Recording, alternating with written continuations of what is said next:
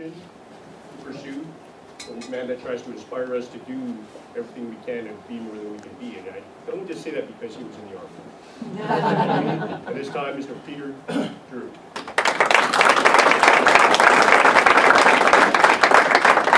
Attila kind of reminds me of something. If it hasn't happened to you, it will. You're going to be sitting in a situation, and you have this one job, and you're working. And then suddenly, there's a second job, and you're working.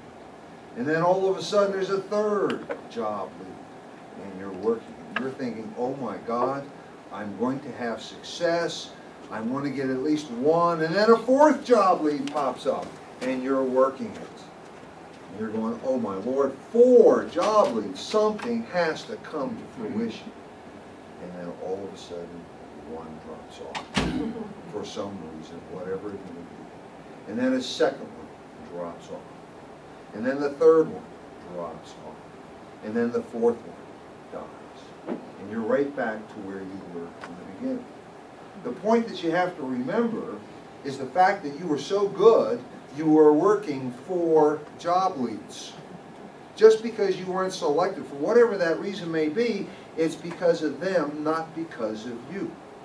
You have to remember what you bring to the table. You have to remain positive. You have to believe in yourself. Because as long as you continue to believe in yourself, somebody else is going to look at you and say, this is the person I want to talk to. But if you start losing that confidence, then all of a sudden you're going to come across as being desperate.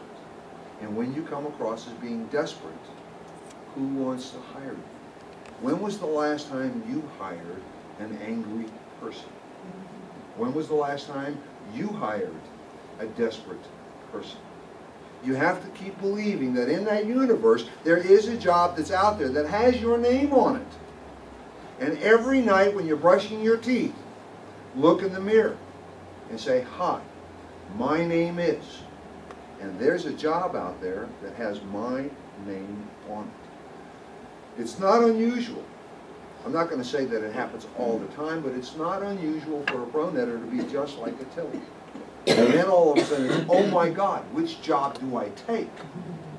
You know, imagine what kind of a quandary, what a positive quandary that is. Which job do I take? It's to Tina's point. Even if you're working a job lead, you don't stop searching. You keep sending your resumes. You keep going on your networking. You keep making contacts. I have a rule of thumb.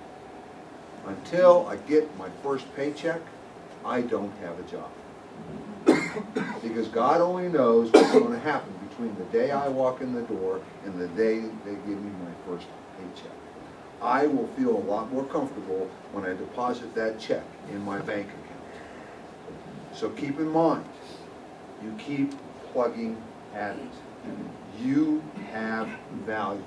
You must bring that value to the table. You must believe in your value, and you have to tell yourself you have value. Because if you believe you have value, then the employer will believe it as well. Everybody understand? That sucked. Everybody understand? Uh, much better.